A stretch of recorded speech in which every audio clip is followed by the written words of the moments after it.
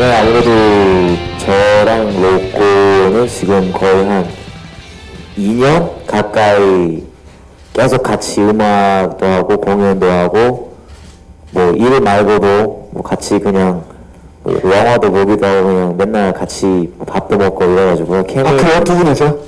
아 그냥 우리 외우지 연애들이랑 네네네. 뭐 되게 자주 같이 있어가지고 네. 뭐 케미는 네 당연히 좋고요.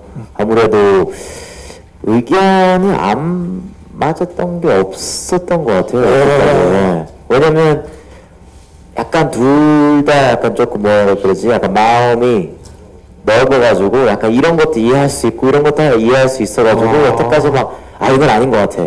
맞아 아닌 것 같아. 이런 경우가 한 번도 없었어요. 저랑 하면서. 오 대단해. 로꼬 씨 진짜요? 맞아요? 네.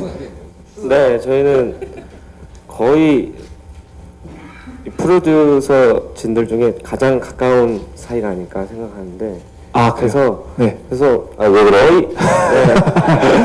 저기 로코 씨. 네. 우리 우리도 친해요. 네. 그래서 오히려 굉장히 잘 맞았고 거의 안 맞는 부분은 거의 없어가지고 정말 잘 맞는다. 아. 네 재밌게 잘 하고 있습니다. 네, 알겠습니다.